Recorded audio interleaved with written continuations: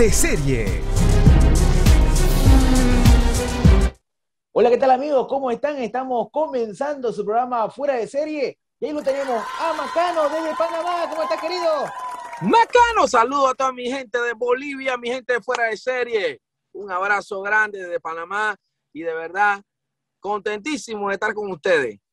¿Cómo es el grito? ¡Macano! ¡Macano! ¡Macano! Eso. A la gente de Bolivia le gusta justamente Macano, le cuento. Hay muchos seguidores que ya nos pedían las entrevistas. Decían, ¿y por qué no lo tienen a Macano? Un artista de nivel, de talla internacional. No, de verdad, muchas gracias. Muchas gracias por, por, por, por la invitación, eh, por el espacio, por tomarme cuenta. De verdad, agradecido.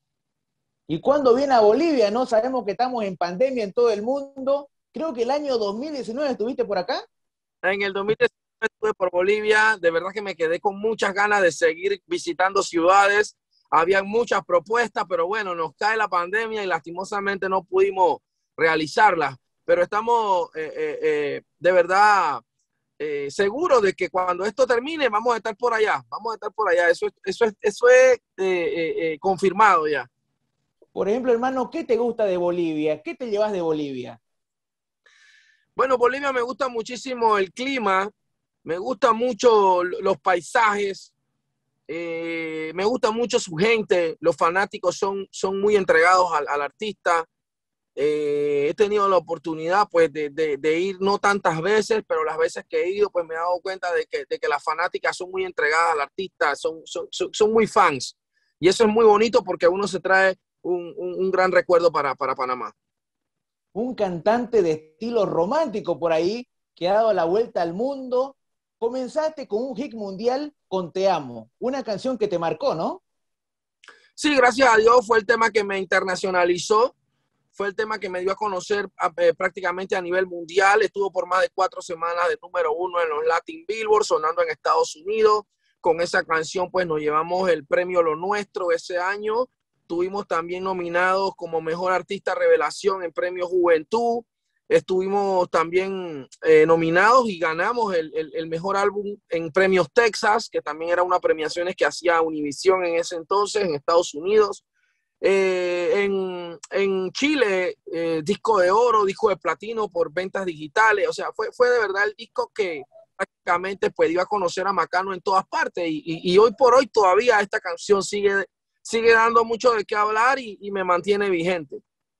Te mantiene vigente y queremos escuchar un poquito. ¿Se puede a capela? Claro, claro. A ver. Si tú supieras cuánto yo a ti te amo y estar contigo es lo que me hace más feliz. Ella no es nada, solo fue un triste pasado.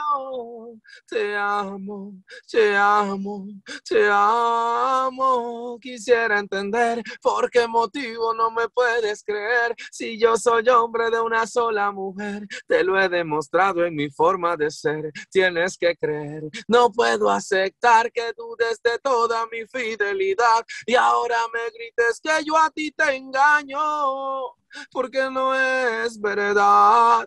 Si tú supieras cuánto y por ahí va el tema. No, buenísimo, buenísimo, querido, la verdad, un tema espectacular. Yo te quiero preguntar cómo se da, cómo se da este tema. Sabemos que, que a veces recordar te trae nostalgia y todo ello. Claro, claro, ¿no? Eh, siempre me hacen esta pregunta en muchas entrevistas y yo pienso que es importante, ¿no? Eh, para, para, para, el fan y, y, para ustedes los entrevistadores saber de dónde nace este tema. Bueno, este tema, la verdad fue una historia que me sucedió con, con mi primera esposa, la madre de mis dos, de mis dos hijos más, más grandes.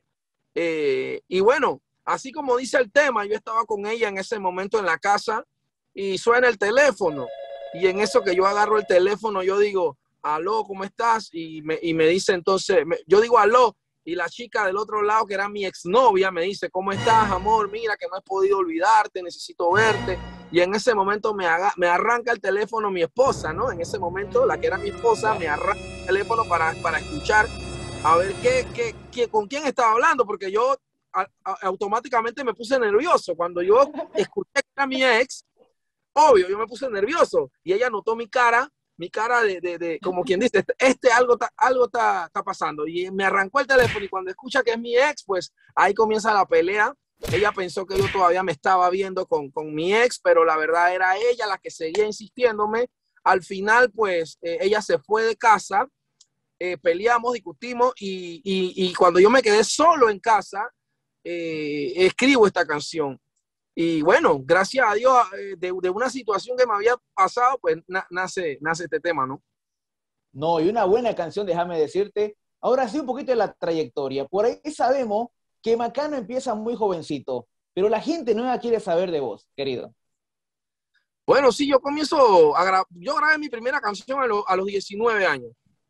A los 19 años grabo mi primera canción aquí en Panamá y hago una carrera nacional de prácticamente cinco años eh, de 5 a 6 años, porque no fue hasta en el, cuando tenía 26 años que tengo la oportunidad de filmar con Panama Music. Antes de eso ya yo venía haciendo una carrera nacionalmente, como te digo, y había grabado, grabado varios temas como Traición, Atrévete, Lo prefieres a él, Te va a doler. Muchas de estas canciones solamente sonaron en Panamá, eh, pero cuando en, en, a los 26 años ya de, de, de que tenía, grabo, uh, comienzo a trabajar con Panama Music y es cuando entonces la música ya comienza a exportarse fuera de Panamá y es cuando eh, comienzo a tener eh, éxito, ¿no? Y hoy por hoy ya tenemos prácticamente 20 años de carrera porque estamos en el 2021.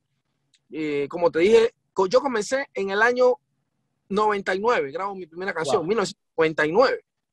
en el 2000 sale la, la, canción, la primera canción. La grabé en, el, en diciembre de 1999, pero sale en enero del 2000. Así que imagínate, ¿no? Eh, comienzan a, a, a, hacer, a, comienza a hacer la carrera nacional, pero no es hasta el 2006 que, que entonces eh, comienzo a sonar fuera de Panamá. Justamente tenías un grupo, ¿no? Los Macanos por ahí. Amigos, sí, por ahí. Eso fue mucho antes, eso fue más mucho antes. antes. Eso fue más antes, eso fue cuando tenía como como 18, 17 años, era muy chamaquito, yo, yo, yo cantaba junto con otros muchachos que soñábamos grabar como, como grupo, eh, nos hacíamos llamar los macanos. Nos pusimos los macanos porque en Panamá el nombre macano es el nombre de, es el nombre de un árbol, así como el roble, un, un, un árbol fuerte, eh, que cuando tú quemas el, el, la selva o la hierba, el árbol queda parado, no se quema. Y entonces como grupo nosotros queríamos ponerle un nombre que impactara a la hora de mencionarlo. Entonces nos pusimos los macanos. Lastimosamente pasó el tiempo y no pudimos grabar como grupo, pero se me da la oportunidad a mí. Entonces, con los muchachos yo le digo, mira, hagamos una, hagamos algo. El primero que graba profesionalmente se queda con el nombre de Macano y así fue. Grabo en el, como te dije, en el 99, mi primera canción y, y me quedo con el nombre de, de Macano por, por el grupo que, que, que soñaba, ¿no?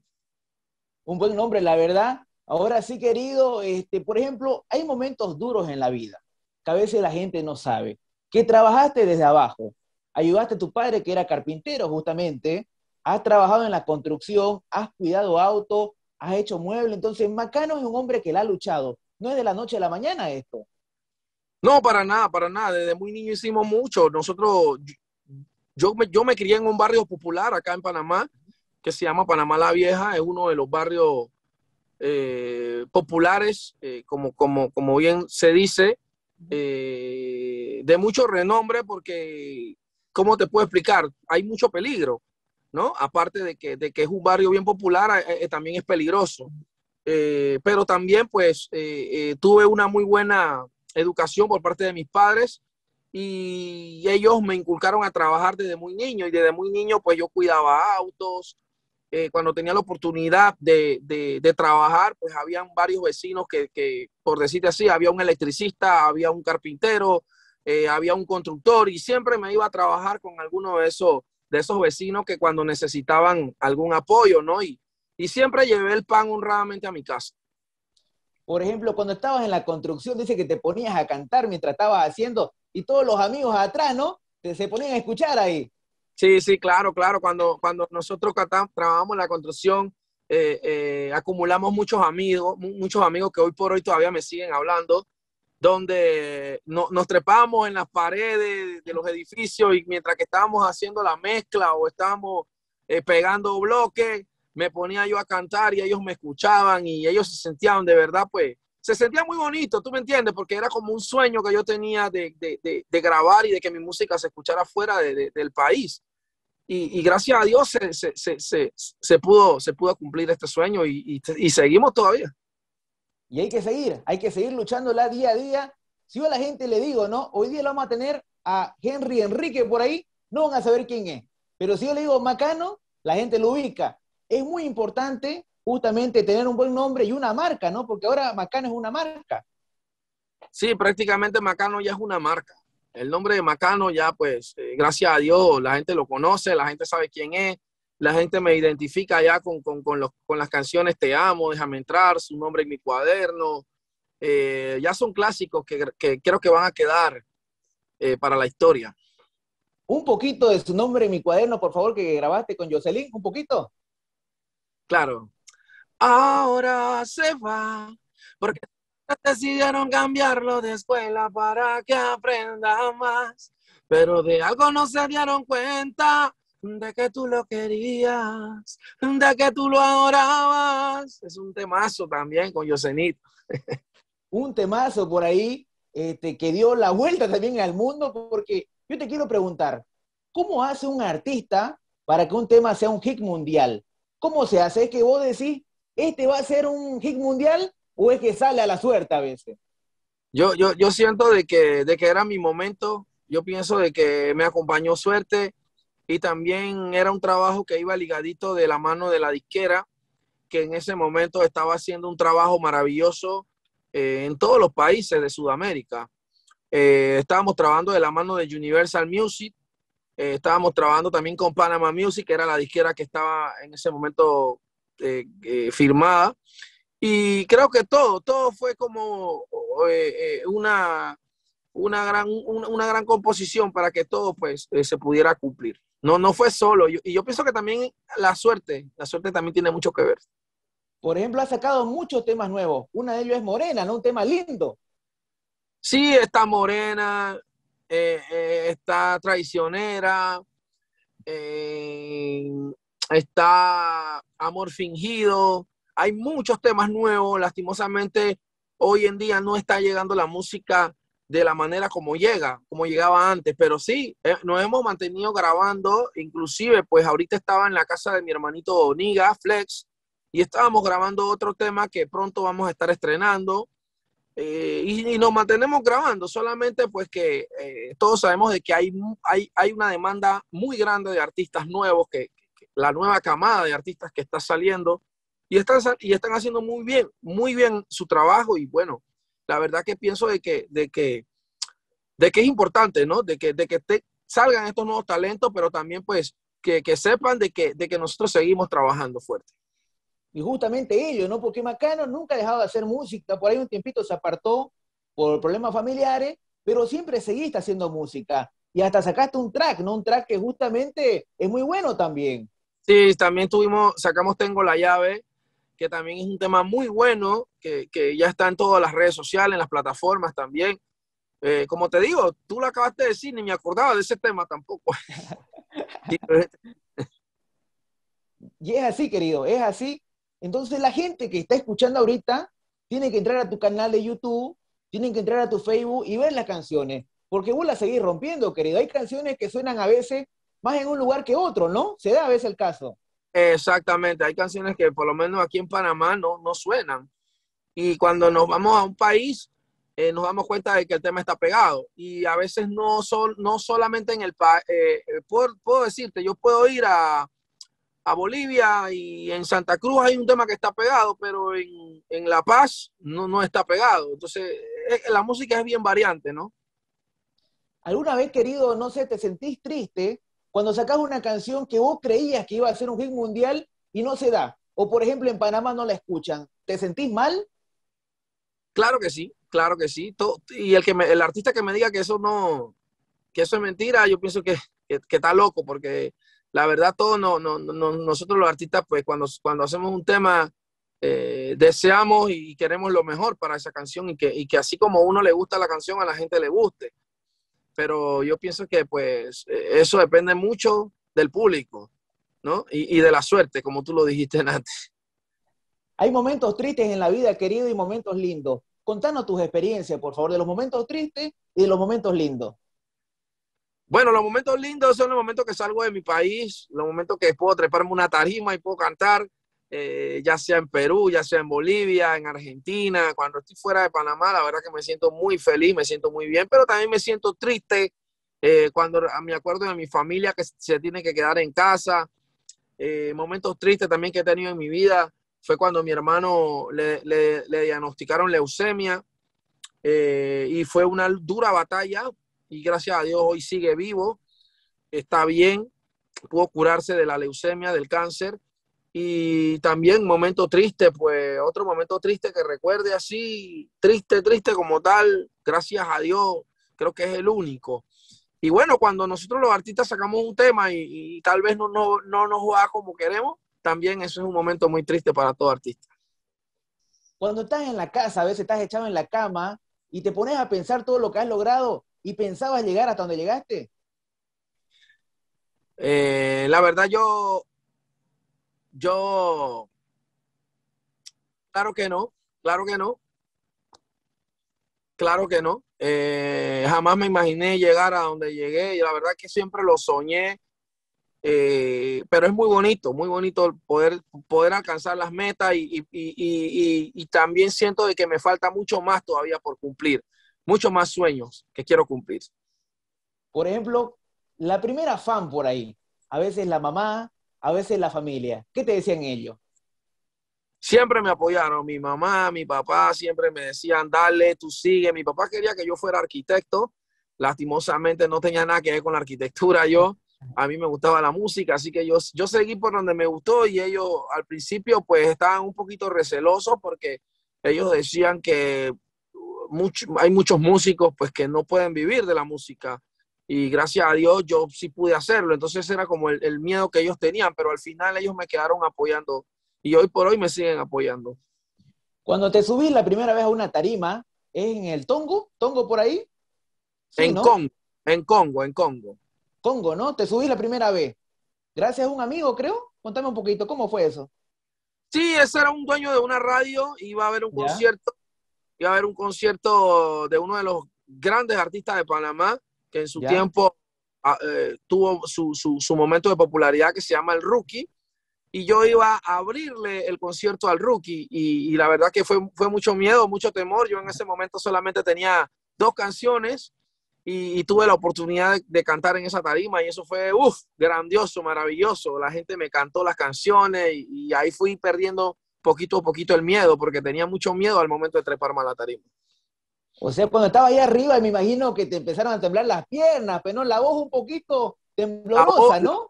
Claro, claro, la voz comienza a tartamudearte, de verdad que un poquito, un poquito de, de, de, de, tú sabes, de todo te entra en ese momento, pero ya cuando tú escuchas a la gente que la gente está cantando, eh, tú, te pones, tú te pones contento, pero también quieres irte rápido, quieres salir de ahí de, una vez. ¿Y alguna vez, querido, te has olvidado alguna canción tuya en un escenario? ¿Te ha pasado? Que estaba eh, cantando y te olvidas, ¿no? Y decís, ¿qué dice la gente? Eso pasa, eso pasa, eso pasa. No, no, no necesariamente tenemos que decir en ese momento qué dice la gente, pero pasa que a veces uno tararea, ¿no? De repente si es si quisiera decirte, uno se trata de, de, o sea, uno tartarea porque de repente se le olvida la letra. Eso pasa mientras te vas acordando, pues, ¿no? Exactamente, sí.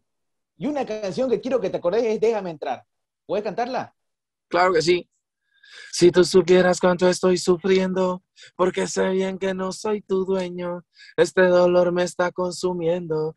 Quisiera amarte sin límite de tiempo, como quisiera que esto fuera un sueño y estar contigo a cada momento. Pero dice porque ya tienes dueño, déjame entrar a tu vida y a tu corazón, que yo quiero solo darte amor.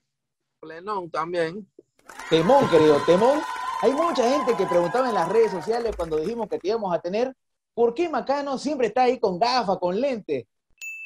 Bueno, yo pienso que es, parte ya del look de muchos artistas de mucho artista urbano. Yo pienso que si tú le preguntas a cualquier artista urbano, eh, es parte ya como del look, ¿no? Y yo desde muy, desde que comencé mi carrera, comencé con gafas, así que yo creo que termino con gafas.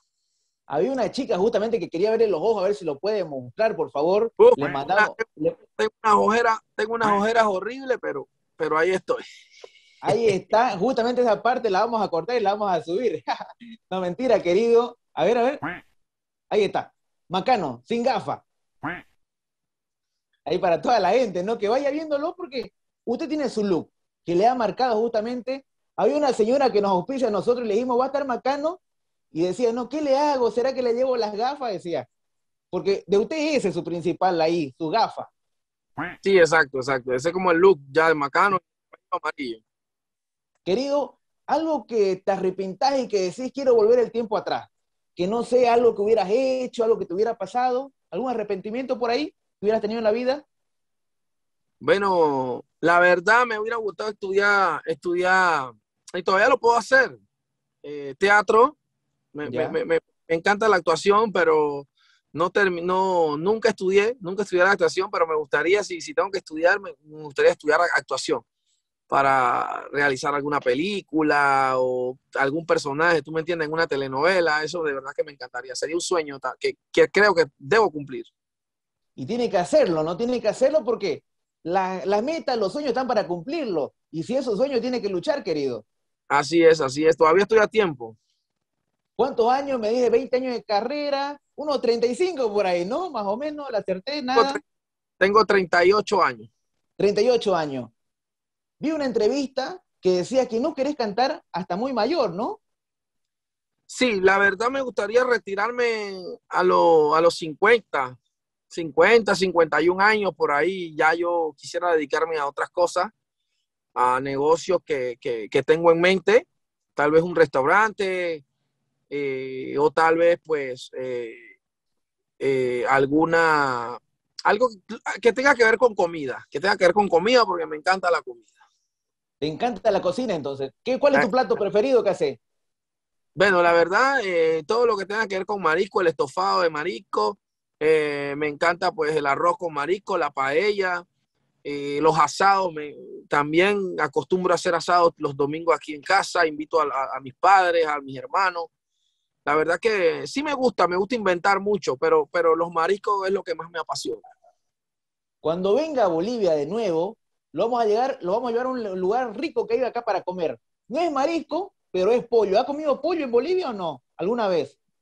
Sí, me llevaron a un lugar que es como, como tipo pollo KFC. Creo que allá, en, allá no hay KFC, si no me equivoco, en Bolivia.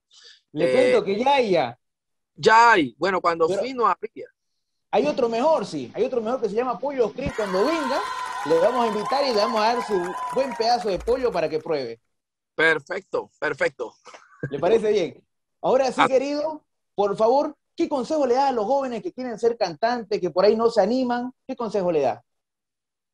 Bueno, mi hermano, el consejo de esto es que la, la, batalla, pues, eh, y el camino es largo. ¿Tú me entiendes? Hay mucho, yo he conocido muchos chamaquitos que comienzan a cantar y, y pierden la batalla, se retiran muy jóvenes porque tal vez no cumplen su objetivo, que es hacer un hit ¿no? Y es que hacer un hit hoy en día, así como también muchos dicen que es fácil, es difícil para otros, ¿no? Yo pienso que hay que tener e, ese, esa chispa y hay que tener ese ángel que te ayude, ¿no? Que tiene que ver con la suerte. Pero, pero yo pienso que lo, más importante de todo es determinar, saber, determinar y, perseverar. Saber lo que quieres, saber que, que, si quieres ser artista tienes que darle, dale, dale, dale, prepararte también, estudiar música, eh, y prepararte lo más que pueda y, no desvanecer, seguir adelante, aléjate de los malos vicios, de las drogas. Yo pienso que eso es lo, lo, lo que también hay muchos artistas que, que conozco aquí en Panamá que, que, han tenido muy buena oportunidad de ser grandes y, la droga, pues lastimosamente los ha, los ha acabado. ¿Y alguna vez quisiste tirar la toalla, querido? Porque a veces se da, ¿no? Que por ahí tu música no estaba sonando al comienzo y dijiste, lo voy a dejar la música, me dedico a otra cosa quiero que sepas que sí, que sí. Eh, en dos ocasiones tuve, tuve ganas de, dejar la música, de retirarme, pero eh, eh, cuando estaba en ese, con ese pensamiento siempre me llamaban del sur o para una presentación. Y, y, cuando escuchaba a la gente cantando, me animaba nuevamente y sacaba fuerza, tú sabes, para seguir. Y aquí, aquí estoy, gracias a Dios. La primera vez que salís cantando afuera de Panamá es en Costa Rica, ¿no? Sí, Costa Rica fue mi primera presentación internacional y luego voy a Guatemala. Eh, y mi tercera presentación creo que fue ya en Estados Unidos, en Los Ángeles, en el estado de California. Y ya, ya lo demás, pues es historia, ya lo demás, pues sí, prácticamente todo Sudamérica. Ahora sí, querido, ¿cómo te ves de aquí a cinco años? ¿Cómo te ves? Bueno, mi música sonando en Europa. Eh, y primero Dios, pues eh, representando muy bien a todos los latinos y, y, haciendo buena música. Eso es lo que quiero, mantenerme haciendo buena música y, que, y que la música y el trabajo hable por sí solo. Tus redes sociales, por favor, para la gente que está mirando la entrevista. Claro que sí, mis redes sociales son Macano507, Macano con K, está verificado el Instagram, el Twitter, arroba Macano Music, eh, perdón, el Twitter es Macano Music, arroba Macano Music, sí, correcto. Y el Facebook es Facebook eh, Oficial Macano, igual. Y el canal de YouTube es Oficial Macano también. Ahí estamos verificados en, todo, en, todas las plata, en todas las redes sociales. Ahora sí, querido, una canción de las últimas, por favor, de tus últimas canciones. Bueno, lo más reciente, hermano, que está sonando eh, aquí en Panamá bastante bien, es la canción que tengo con Aspirante, o un otro artista panameño que también tiene muy buenos, muy buenos hits a nivel de Sudamérica, y es una canción eh, que ya está en todas las plataformas digitales también. Eh, ¿Qué te puedo decir? Está también la canción que tengo con Flex, eh, hay un tema que se está cocinando por ahí también. O sea, son, tantas. Yo, yo, mira, yo los invito a que entren, entren a, a, a, a mis, mis, redes sociales y, y, puedan ver todo, todo lo que tenemos nuevo, porque hay mucha música. Hermano, a veces la gente es un poquito flojita y no entra un poquito de la canción. Porque la gente es flojita, a veces dice, mejor la veo acá, dice, un poquito, un pedacito de las canciones, de la última. Ya no la pienses más, ya no la busques más ya no le ruegues más. No, me dice aspirante, dime cómo hacer macano. Tú sabes cuánto yo la necesito. Oh, y le digo yo, ha pasado tanto tiempo. Es obvio que no quiere estar contigo. Y me dice él, yo la extraño aún. Yo le digo, ya no la pienses más, ya no la busques más, ya no le ruegues más, no, ya no la pienses más, ya no la busques más, ya no le ruegues más, no. Como hermano te lo digo, esa mujer no quiere estar contigo. Ya es suficiente de aguantar castigo, rogando amor cual si fueras mendigo. Y es que pa' qué está con alguien que ya no te quiere y que siempre amenaza con irse. No deberías humillarte. Uno mismo debe quererse. Ya no la pienses más ya no la busques más. Por ahí va el tema. Se lo invito, lo invito a que la, a que la busquen y la escuchen. Querido, ya comenzó el show, dice la gente acá, ya comenzó el show con todo justamente. Hermanazo, te deseamos el mayor de los éxitos. Sabemos que sos un gran artista, un, un artista de talla internacional.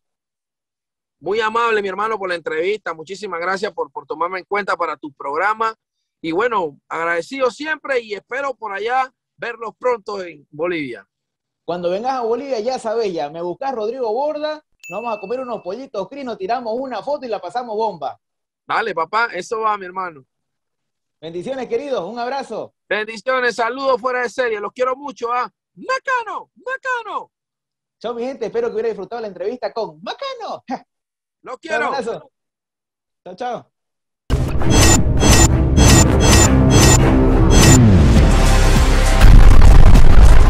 Fuera de serie.